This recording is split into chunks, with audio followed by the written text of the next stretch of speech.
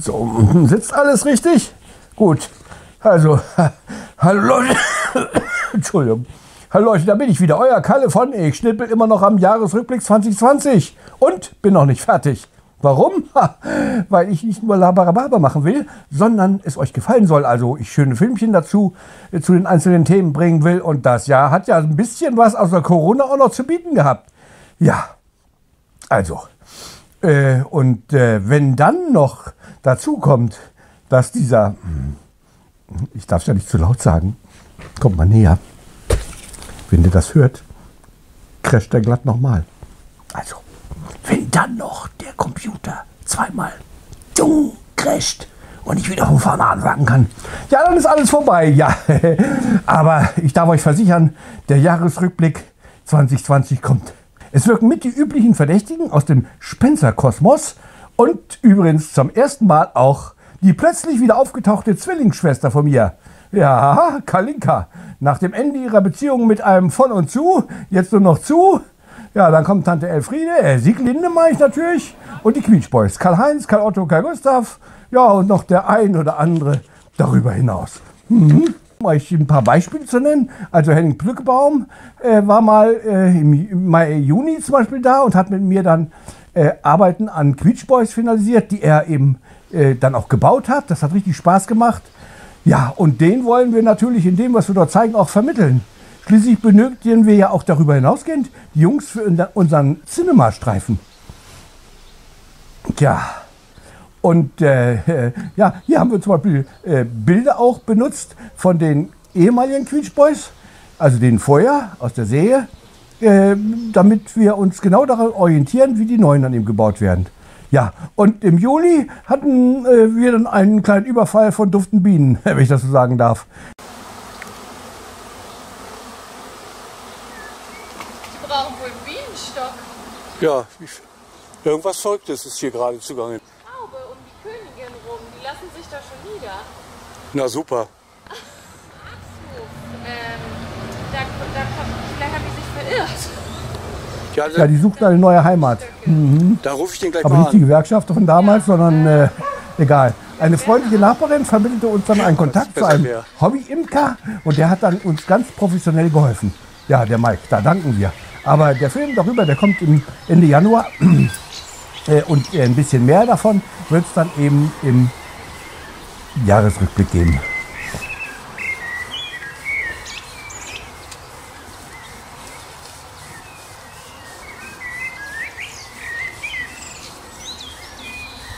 Ja, äh, jedenfalls war er in der Lage, uns die summende Last abzunehmen. Und was kann ich äh, sonst noch so erzählen? Ja, naja, unsere kleine Kabelei mit Jan Böhmermann und dem ZDF-Magazin Royal und dass wir eine ganze Menge Promis gehabt haben, die sich zu unserer Serie bekannt haben, was uns natürlich auch Spaß und Freude gemacht hat, war schön. Genauso wie diese Unterhaltung zwischen Böhmermann und äh, Olli Schulz, die dann auch mal so einiges zum Besten gegeben haben. Ja, und ähm, ich habe in Analogie zu der gerade hochgeladenen Silvesterfolge, die habt ihr ja gesehen, äh, nach dem Motto Das ist Spencers Durchbruch, eine Episode rausgesucht, die, äh, wie soll ich sagen, euch sicherlich auch gefallen wird und die man, deren Inhalt man quasi in diesen Tagen wieder nicht nur voll nachvollziehen kann, sondern gebrauchen kann. Gesundheit, sage ich dazu nur. Mhm. Viel Spaß. Hallo, liebe Freunde von A bis Z, von 1 bis 100, von Norden bis Süden und Osten bis Westen. Hier bin ich wieder, euer lieber guter alter Spencer.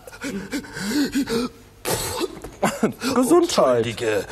Gesundheit. Danke, Elvis. Du sagst es. Gesundheit. Das ist es, was wir alle brauchen, was wir alle haben wollen, wenn wir krank sind und woran wir gar nicht denken, wenn wir sie haben, die Gesundheit. Oh, Elvis, was ist dir? Was hast du? Husten. Du hast mich angesteckt. Aber ich bitte dich, doch, ich habe doch nur ein bisschen genießt. Ja, dann ist das bestimmt eine ganz heimtückische Krankheit, wenn ich von deinem Niesen Husten bekomme.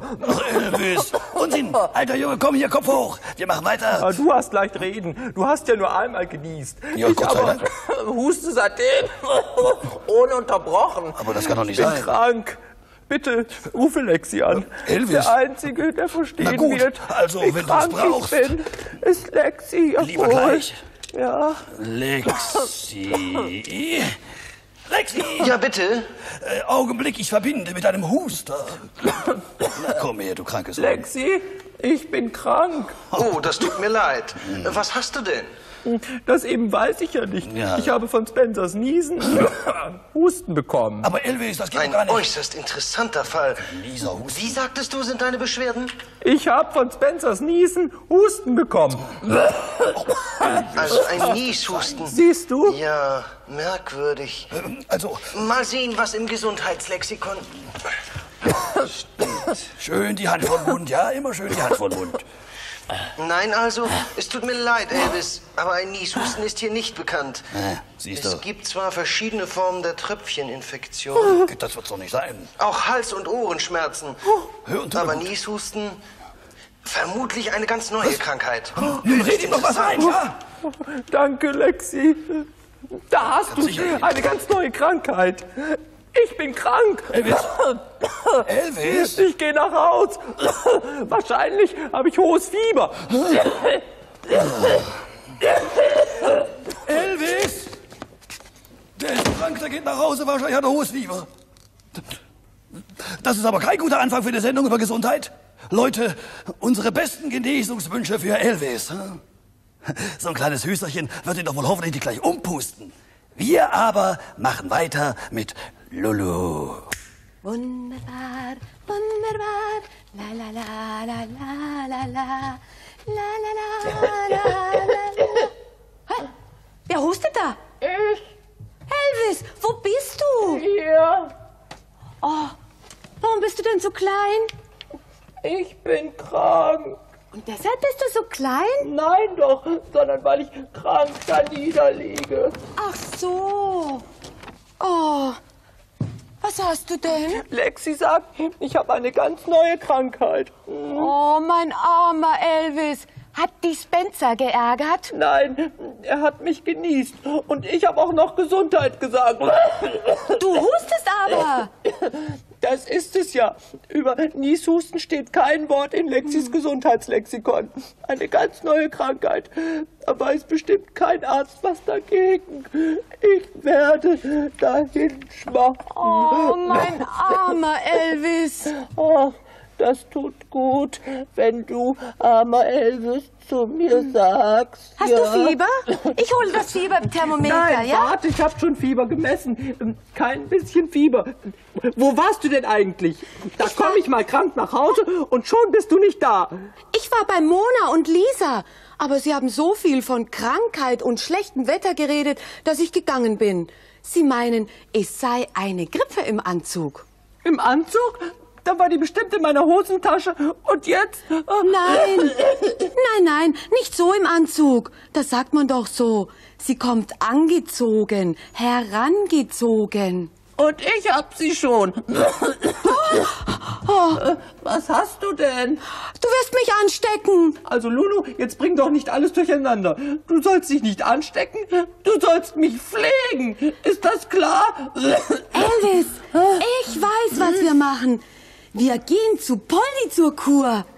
Der hat doch da so Dämpfe in seinen Kraterlöchern. Die sind heilkräftig und die atmest du ein und dann wirst du ganz, ganz, ganz schnell wieder gesund. Ja, vielleicht wäre das ganz gut.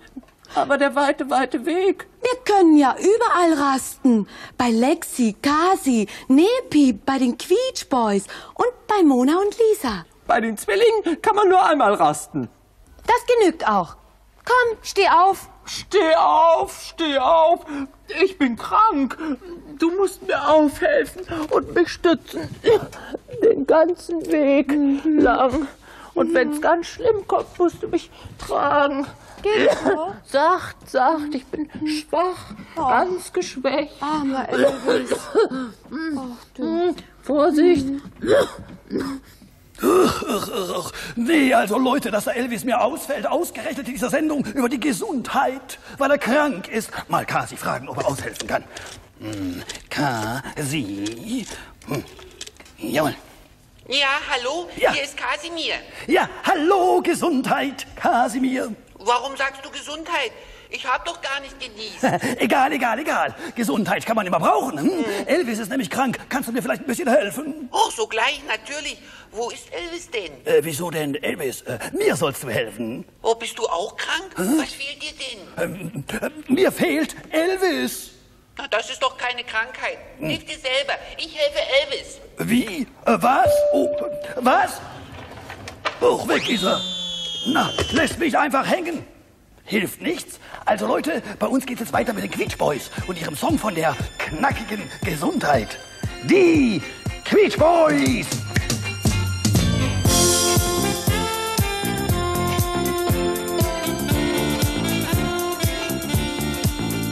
Wir hören oft, dass man uns sagt, dass jemand eine Krankheit plagt. Oft sind Wehwehchen schon der Grund und mancher fühlt sich ungesund. Das hören wir uns ganz still an und dann sind diese Zeilen dran. Wir Quietschboys haben sehr viel Kraft.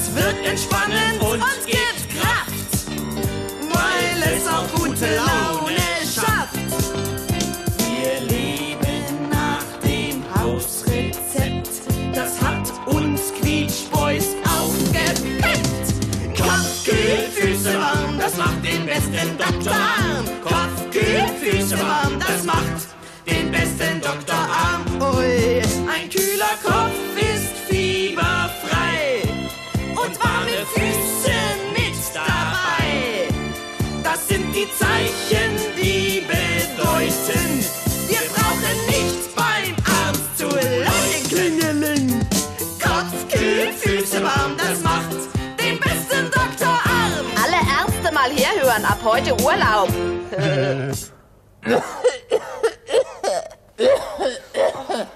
Wer wusste denn da? Elvis ist krank. Verzeiht die Störung. Na klar, Krankheit geht vor Song. Wie ist denn das passiert? Also, ich bin im Studio, der Spencer niest, Hm, ich sage Gesundheit, er sagt Danke und schon hat er mich angesteckt. Aber du hustest doch. Ja, Und du sagst, Spencer hat genießt. das ist ja das Beunruhigende. Über Nieshusten steht nichts im Gesundheitslexikon, sagt Lexi. Eine ganz neue Erkrankung. Armer Elvis. Das hat er gern, wenn man armer Elvis zu ihm sagt. Zwei, drei. Armer Elvis. Ja, dann wollen wir mal weiter, nicht? Lulu, du hast noch nicht nach dem Fieber geschaut. Äh, kein Fieber. Hm. Noch immer kein Fieber? Ach, Stellt euch vor, noch immer kein Fieber. Schau mal, der arme Junge ist schon ganz blau vom Husten. Das kann uns nicht passieren, hä?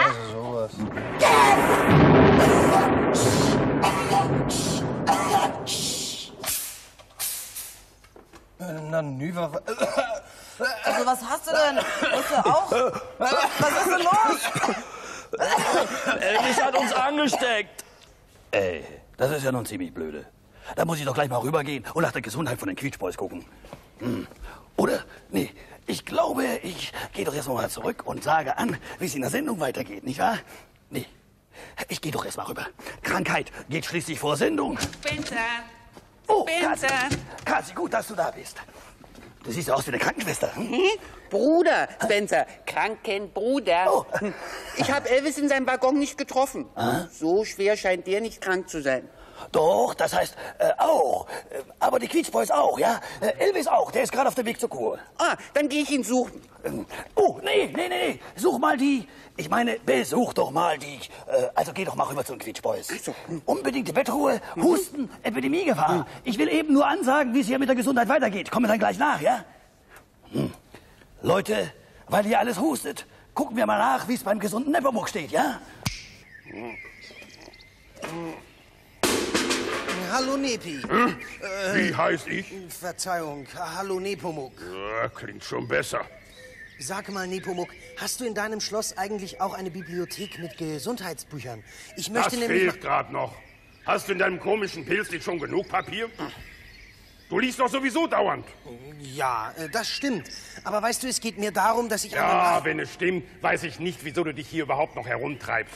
Du siehst doch, dass ich hier beschäftigt bin. Aua! Was? Du hast hier auf deinem Schloss einen beachtlichen Haufen Gerümpel liegen, Nepomuk. Der nächste Fußgänger wird über dein Zeug stolpern und sich eine Rostwunde zuziehen. Und daran bist du dann schuld, Nepomuk. Ach, Quatsch. Hier stolpert niemand. Elvis, Niemand? was ist denn los? Gleich zwei auf einmal. Steh auf, Elvis. Dazu bin ich zu schwach. Nimm die Hand vor den Mund, Elvis. Dazu bin ich auch zu schwach. Ach. Komm, Lexi, lass mich da mal hin. Lass mich mal rasten hier. Wir sind auf dem Weg zur Kur in Poldes Kraterdämpfen, weißt du? Was hat denn der Elvis? Also, ich bin im Studio, der Spencer niest. Ich sage Gesundheit. Er sagt noch Danke und schon hat er mich angesteckt. Das hat mich höllisch erwischt. Aber du hustest doch. Und das, obwohl der Spencer genießt hat. Das ist ja das Beunruhigende. Über Niesthusten steht nämlich nirgendwo was geschrieben. Was ganz Neues. Mhm. Wie lange das dauern kann, bis es da Medizin gibt. Hast Oh. du denn jetzt Fieber? Guck mal nach. Lulu. Nein, kein Fieber. Komm, wir wollen mal weiter, Elvis. Das ist das Beunruhigendste. Halt Kein fest. Fieber. Ja. Komm.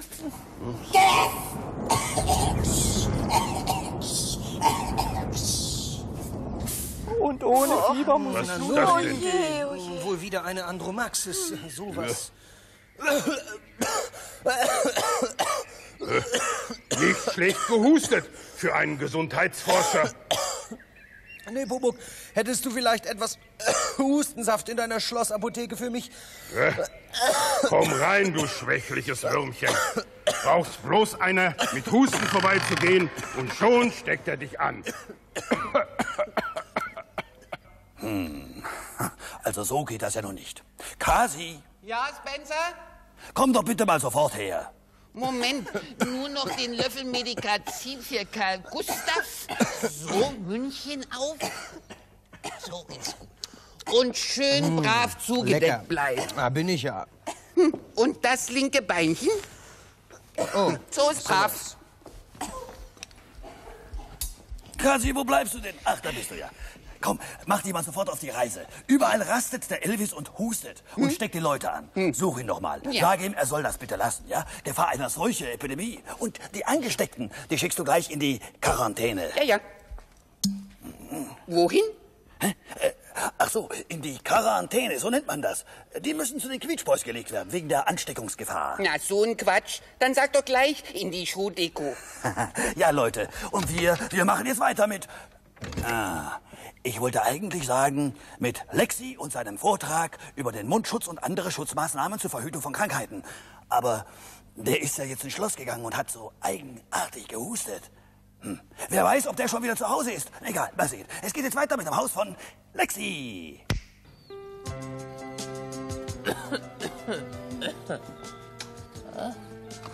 Wo ist denn Lexi? Nicht da. Hm, Das sehe ich auch. Aber wo ist der?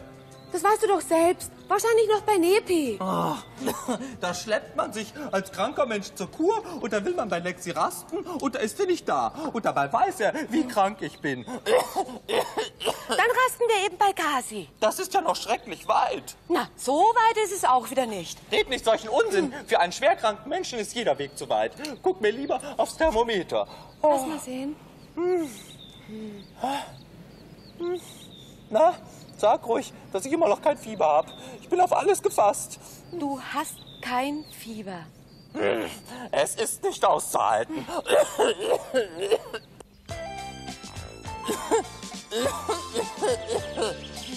Kasi! Kasi! Ruf du doch bitte mal. Kasi! Kasimir! Hm. Wahrscheinlich schläft er. Komm, wir fahren mit dem Fahrstuhl hoch. Wie kann der schlafen, wenn ich schwer krank bin? Ja. Unverschämtheit. Jetzt auch noch in dieses Kabäuschen. Armer du.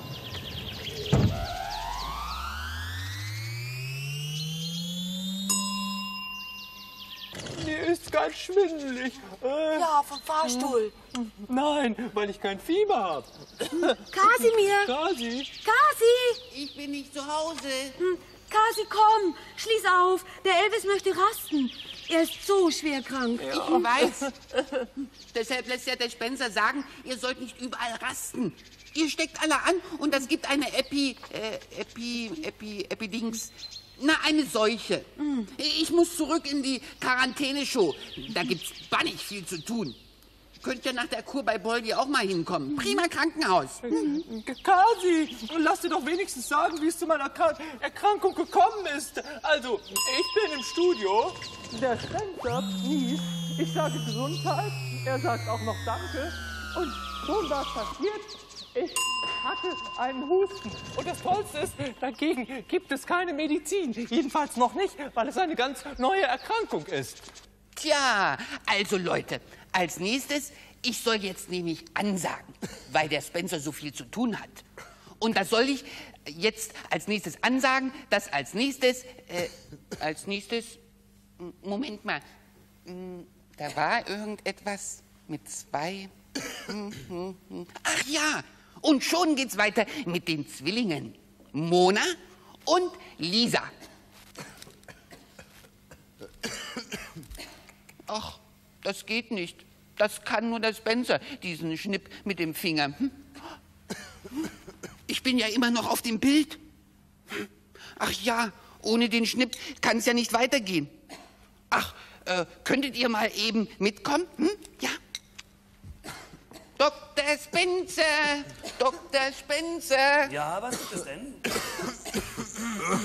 Dass mir das passieren muss. Nur ruhig, Neppi, das werden wir bald haben. Hm? Dr. Spencer. Ja, Schwester? Ja. Ach, gehen Sie doch mal rüber zu äh, Lexi äh, und fühlen Sie den Puls, ja? Und Ja. Karl Otto braucht eine Wärmflasche. Wärmflasche, ja. Ja, aber äh, das geht doch nicht. Einfach den Finger schnippen. Ach, ja, natürlich, ach so. Es muss ja weitergehen mit den Zwillingen. Kannst jetzt kommen. Du musst erst husten. Klingelingelingelingeling.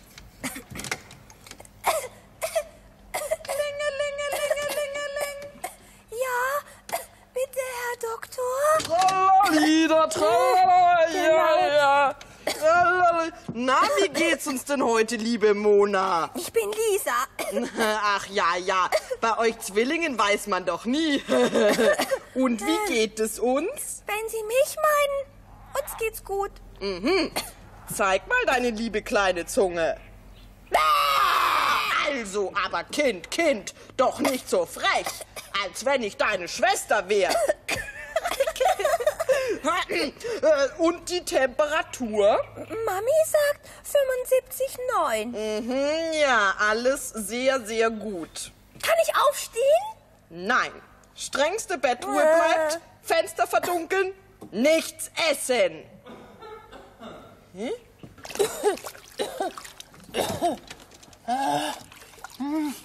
Hallo Elvis. Um Himmels Willen, Mona, bist du krank? Ich bin Lisa und nicht krank. Wir spielen gerade Doktor. Ach so, ich hatte schon Angst, man könnte sich hier anstecken.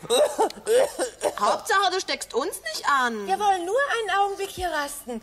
Wir sind auf dem Weg zur Kur in Poldis Kraterdämpfen. Hm, Du könntest einem armen Kranken ruhig dein Bett für eine kurze Rast überlassen. Oh, Ja, entschuldige Ja, Elvis. bitte, bitte. Komm, Elvis, hier rein, komm. Ah, das tut wohl. Lulu, hab ich Fieber? Lass mal sehen. Genau 36,5. Kein Fieber. Das ist eben nicht normal. Mona Lisa, borgt mir doch mal eure Thermometer, ja? Moment mal. Warum bist du denn so hustig? Also, ich bin im Studio, der Spencer niest, ich sage Gesundheit, er sagt noch Danke und schon hat er mich angesteckt. Aber du hustest doch. Hm, das ist ja das Beunruhigende. Über Nieshusten steht nichts im Gesundheitslexikon. Eine ganz neue Erkrankung. Ja, dann wollen wir mal weiter. Warum Komm, lässt du mich eigentlich nicht ausreden? Eine ganz neue Erkrankung eben, gegen die wohl so schnell kein Mittel entwickelt werden kann. Tschüss dann und gute Besserung.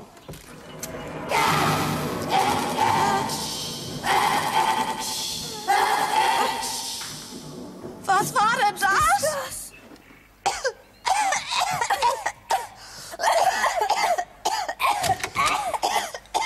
Wegen Seuchengefahr dürft ihr nicht mehr hier bleiben. Ihr müsst auf die Quarantänestation zu den Quietschboys. Folgt mir. Uiuiuiuiuiui. Also, Leute, oh. Ah, Post, Rohrpost für mich. Ich hoffe, das ist jetzt keine Katastrophenmeldung. So, also Leute, es geht weiter. Es geht weiter mit der Gesundheit, aber fragt mich nicht wie. Also überall, wo dieser Hustenbold Elvis auftaucht, da geht es nämlich weiter mit der Krankheit. So, was schreibt uns denn der Frank aus Eidelstedt? Ja, kann uns der Elvis über den Fernsehkanal auch anstecken? Meine Mutter macht sich Sorgen. Müssen wir abschalten? Ah. Lieber Frank, liebe Mutti, hier spricht der Fernseharzt. Leute, keine Gefahr. Übers Fernsehen kann man sich nicht anstecken. Na, und jetzt geht es weiter mit Poldi.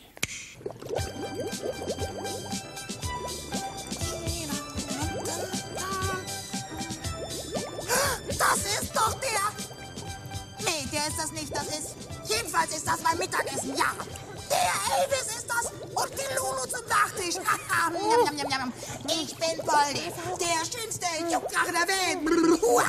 Und ich will dir fressen und dir als Nachtisch. Aber Poldi, du wirst doch nicht einen armzähen Kranken fressen wollen. Nee, nee, nee, nee, nee, nee. Keinen armen Kranken, sondern dir und dir. Aber Elvis ist doch ein armer Kranker. Hä? Wir möchten eine Kur machen in deinen Kraterdämpfen, damit Elvis seinen Husten los wird. Ach so, ja, dann, dann, dann, dann macht mal Kur, ja? Schön tief einatmen. Oh, schönen Dank, lieber Poldi. Oh, bitte, bitte, aber keine Ursache. aber wenn du wieder gesund bist, dann fress ich dir. Und dir auch. Lulu? Lulu, ich glaube. Was ist denn Oh, mein lieber Lulu. Bist du wieder gesund? Ach was, gesund. Guck mal auf die Thermometer. Ach, meinst du? Oh, tatsächlich. Fieber, Lulu? Sag's ruhig. Fieber, ja, sag's doch. Ja, Sag's. 38,1 und es steigt und steigt. 38,2, 3, 4, 5 auf allen drei Thermometern. Du hast zusammen über 100 Grad Fieber. Elvis. Endlich. Ey, du Mittagessen! Ich willst hier gesund werden, damit ich dir fressen kann. Stattdessen kriegst du hier Fieber. So heiß esse ich doch nicht. Da verbrenne ich mir ja das Maul.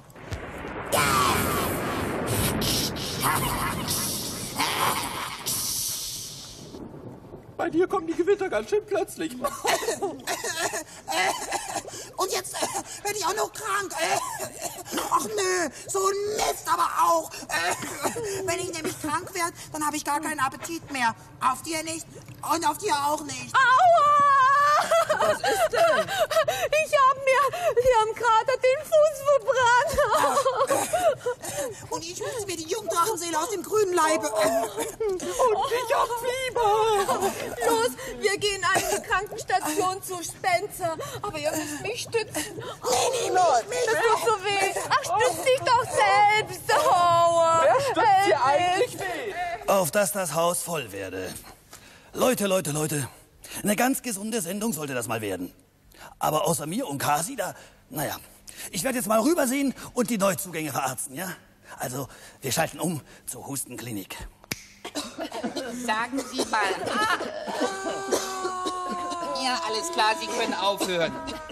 Strenge Bettruhe, mm, Bettruhe, Temperatur, Puls, Wadenwickel, Wärmflasche, Saftensis Hustulorum, dreimal täglich einen Esslöffel. Hallo, Krankenbruder, wie steht's? Wie geht's mit unserem Patienten? Na, zwei Neuzugänge schon vom Arzt. Nur noch diese Dame da. Oh, ja, dann sagen Sie doch mal A. Ich habe mir Bitte die- sagen Sie A. An den Bitte sagen habe ich Sie mir A. Mit Ausnahmen haben wir jetzt nicht zu rechnen. Da haben wir gar keine Zeit dafür. So, mhm, Temperatur messen, Puls, Wadenwickel, Wärmflasche. Ich habe mir die Zehen verbrannt! Ach so. Oh, dann lassen Sie doch mal sehen. Die Zehen habe ich mir verbrannt an den Hm. Poldikratern! Ein heißes Bein. Ach so, ja, dann also Kaltflasche statt Wärmflasche, den Hustensaft auf die Zehen träufeln, ja? Mal sehen. Wir sind ja nämlich ein hochspezialisiertes Hustenkrankenhaus. Wie Sie vielleicht hören. So, liebe Kranke, aufhören mit Husten. Schön schlafen, Nachtruhe. Wir wünschen wundervolle Genesung. Werdet gesund, gute Nacht und gute Besserung. Ihr seht, wir sind im Lazarett und gehen hier von Bett zu Bett. Die Kranken sollen gesunden, drum drehen wir hier die Runden. Der Husten, Niesen, Schnupfer, Herr Doktor, einen Tupfer, noch einen Wickel für den Hals, am besten mit ein wenig Schmalz.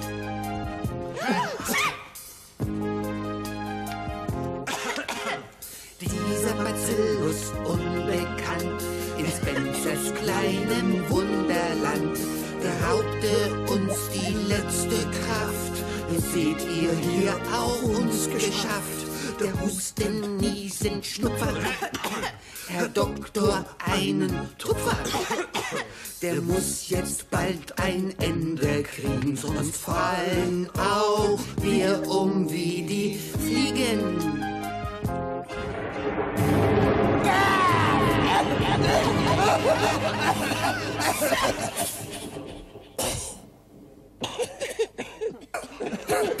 Nun hat uns auch noch erwischt, Spencer.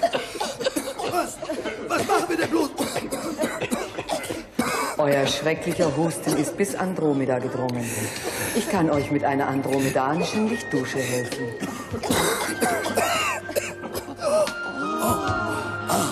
Hm, das befreit. Ja, tolle Dusche das, liebe Gali. hm. Galis Dusche hat mehr Kraft als Wickel oder Hustensaft. Vielen Dank. Auf Wiedersehen. Tschüss. Tschüss. Ja, wie ich schon gesagt habe, Gesundheit brauchen wir alle. Und zwar jede Menge. Und in Corona-Zeiten erst recht, doppelt und dreifach. So, also für den finalen Schnitt, für den Jahresrückblick 2020 werde ich noch circa eine Woche brauchen. Aber die Premiere kündige ich dann im Netz an. So als Premiere eben. Leute, bitte Daumen hoch und Abo, wer noch keins hat. Und bis in ein paar Tagen. Euer Kalle von Husten TV. Aha.